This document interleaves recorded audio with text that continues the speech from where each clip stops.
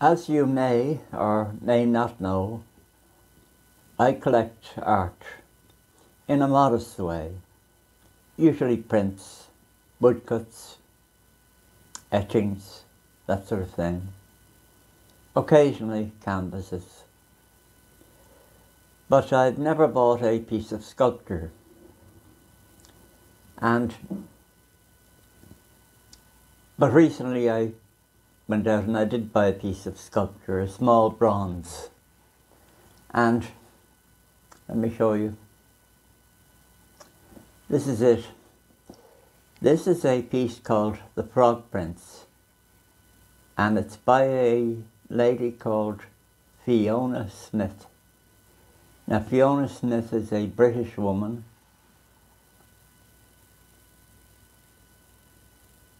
Let me see this now. She is a British woman who uh, who came to Ireland a few years ago. She set up a studio here. She lives, I think, somewhere down the country, perhaps in a, an old farmhouse or something. I don't know, but she's a very good sculptor or sculptress. Sculptress, there is such a thing and uh, she does a lot of birds, sculptures of birds. Very good. She's reasonably well known. But uh, I saw this piece by her, The Frog Prince, in a gallery, the Trinity Gallery here in Dublin. And it's a place I pass a couple of days a week. And a few months ago, I think four or five months ago, I first saw this in the window. And let me get back to this. Yes, I saw it in the window and I liked it, but the price was a bit, well, for me it was a bit expensive. And so,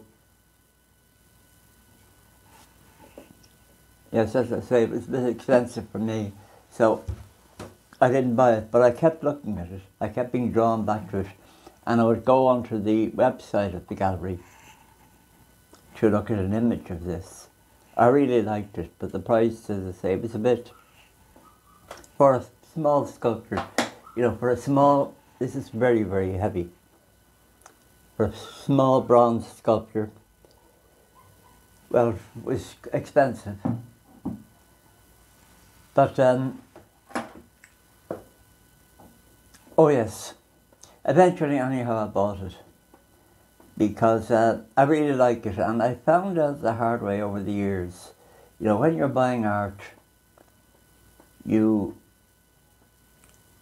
you should never. You should buy whatever it is you like, regardless of the price. Well, obviously, there's a limit to what you can pay. There's a limit to what the money you actually have. But even if something is a bit too expensive for you, if you really like a work of art and it's good, buy it. Now, sometimes you might go to a gallery or an auction and you'll see a painting you really like that's really good, let's say, let's say a painting, but you can't quite afford it. Maybe you have the money, but you don't want to spend that much money. So you see maybe another painting, perhaps by the same artist, perhaps a little smaller, not quite as good, and you can afford that so you buy that. Now this of course is a mistake because if you buy a painting or a piece of sculpture or a piece of art that isn't quite right, that really isn't that good, then every time you look at it, you'll be reminded of the fact that it's second best.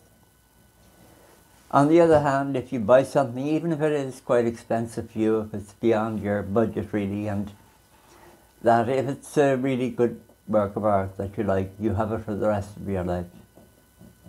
You know, and you can, it'll give you pleasure every day of your life. And in that sense, it'll work out the cheapest thing you ever bought. But anyhow, I was looking at this, the price was putting me off, putting me off, and eventually a few days ago, a week, 10 days ago, two weeks ago, I went in and I bought it. And I have it now sitting, I have it sitting beside my record player and I don't know how long I have left on this mortal coil, but uh, if I live another five years or ten years, it will give me pleasure every single day.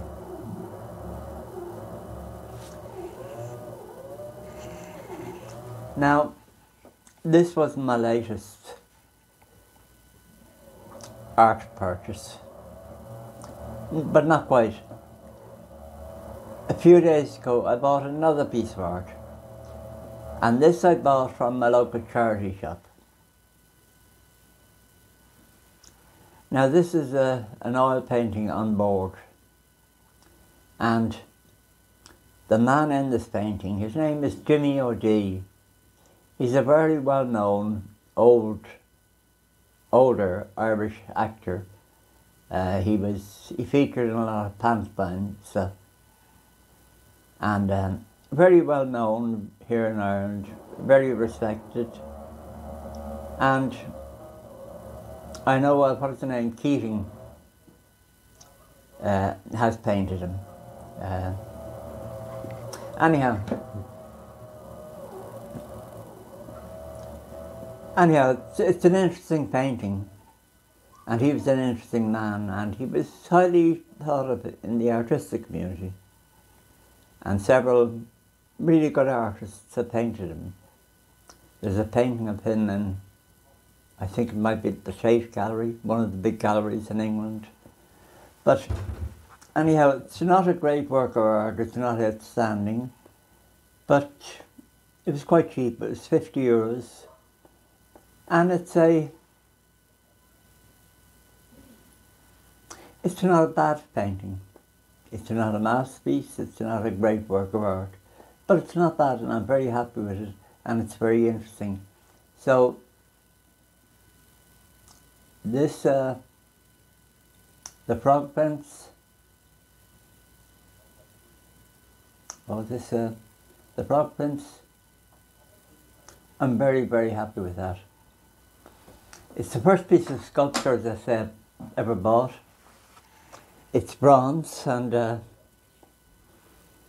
you know, if you want to kill your granny, if you have an old granny around the place who's annoying you, hit her with this and that'll be bye bye granny. It's very heavy, very heavy.